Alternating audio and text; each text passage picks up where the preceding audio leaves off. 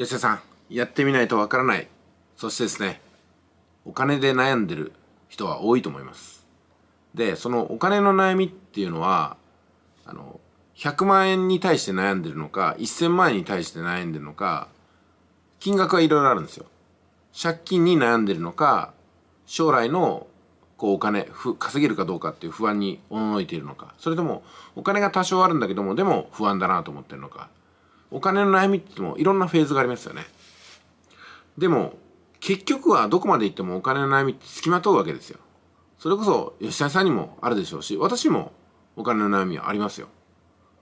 ただやっぱりねそれをね深刻に捉えてるかそれともまあ解決できるだろうというふうに考えてるのかに違いがあると思うんですよ。で私は莫大借金がある時でも当然お金のこといつもね頭にありましたし今は借金がなくてもお金のこと頭にあるんですよ。でも何が違うかっていうと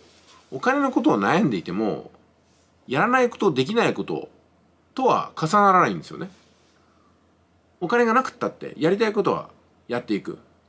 お金があろうとやりたいことはやっていく。こう変わんないわけですよ。うん。そう考えていくと結局は金の悩みがなくならないんでやりたいことを一つでも多くやった方がいいかなっていうことなんですよ。でそこにですよお金がないからできないっていう選択肢が入っちゃうとやりたいことができないことばっかりになっちゃうんですよね。まあ、ですんでどうせ金の悩みはなくならないんだからまあもう一発借金しとくかもう一発体験とかやり残したことがないように行動していくかっていうふうに私は思っちゃうんですよね。だから危なっかしいところもあると思いますけどもでも結局借金が数百万1000万2000万っていう時の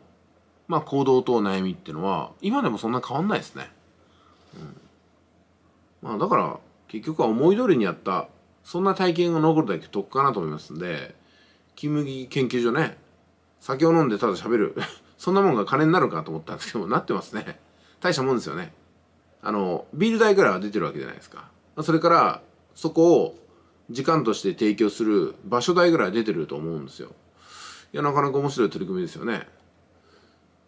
まあ私なんてのはね吉谷さんとなんかこう他の参加者さんと、まあ、酒飲みに行ったのって随分前になりますけども私の場合吉谷さんにおごってもらいましたからね。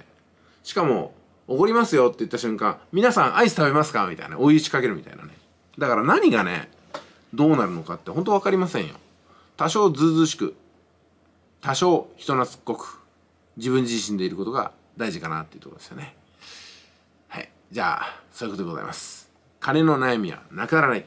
いってらっしゃい。